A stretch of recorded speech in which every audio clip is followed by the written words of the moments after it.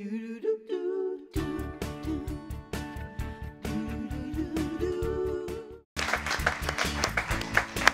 what a wonderful story we have here. We're back with Lizzie Velasquez, who's sharing her story about how she overcame adversity and how it led her to find her passion.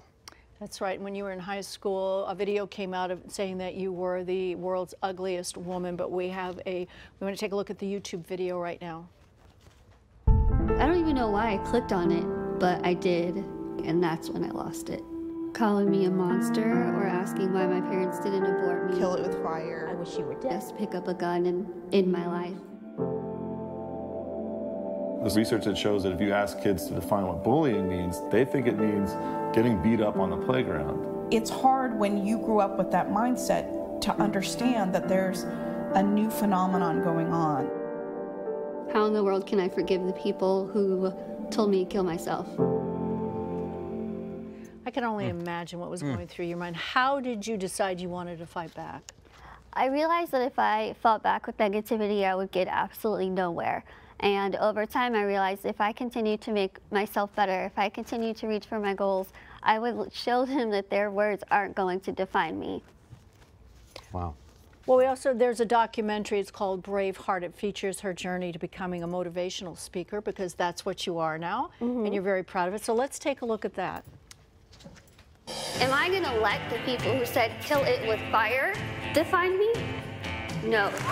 I'm not sure what it was about the TED Talk and what I said in it, but it changed everything. She did a TED Talk that knocked me out. Please welcome Lizzie Velasquez. Hey, girl. and I knew this is my purpose. This is what I'm meant to do for the rest of my life because I like to think that I'm not only telling my story, I'm telling everyone's story.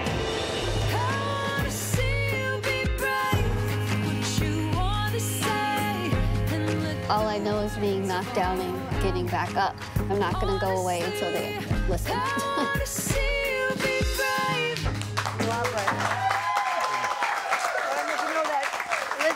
To pass the first federal anti-bullying called the Safe Schools Improvement Act. And what do you hope to accomplish with this bill? During the process of filming, we were looking for what bills were put in place to protect kids in schools from bullying, and we were shocked to find out that there isn't one.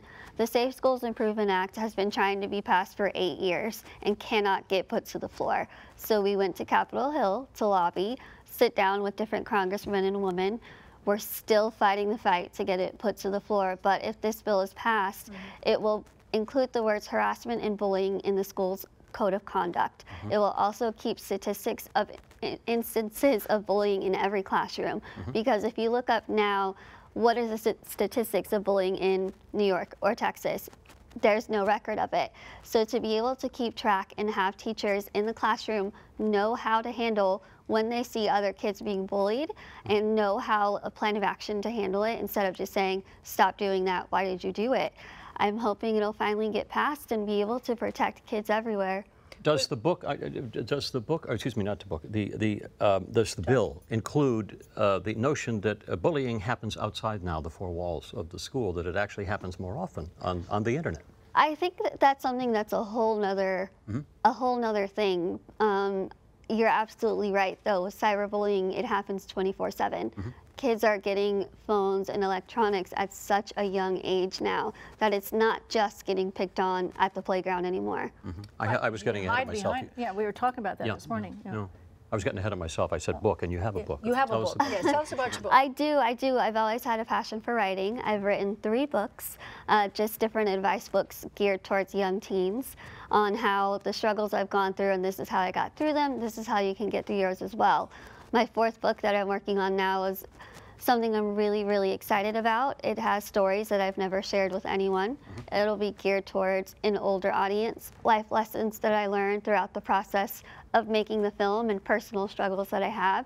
So I'm really excited about it. Well, you are a wonderful example that it's You not what happens to you in life, it is what you do about it. what you do about it. You seem to be very much at peace with yourself. There's such a, a beauty and grace that emanates from you. so Thank you. I, I, I was going to ask you if you have any anger towards anyone, but it doesn't seem to me that you do. I- Absolutely not. Absolutely not. I'm so grateful to have that bad video come out because it gave me the biggest platform in my life to be able to help other people. And even though a lot of people told me the world would be a better place without me, I've been able to overcome it. And I want to share the message to everyone that will listen that you were meant to be put on this earth for a reason. You are enough just being you. For you. Yeah, Love 'cause is it- much more communicable than hate, isn't it? Yeah. Yeah. Mm-hmm. And there are a lot of people out there who are suffering and don't know what to do with it. They can hear your voice and what you have to offer. It will help them. I'm sure you've saved lives as well. Thank you. It's an honor to be able to be the voice for those that aren't sure how to use their own. And it's an honor to have you here. And it's Thank lovely to know you. you. Thank you Thank for you sharing. so your much. beautiful story.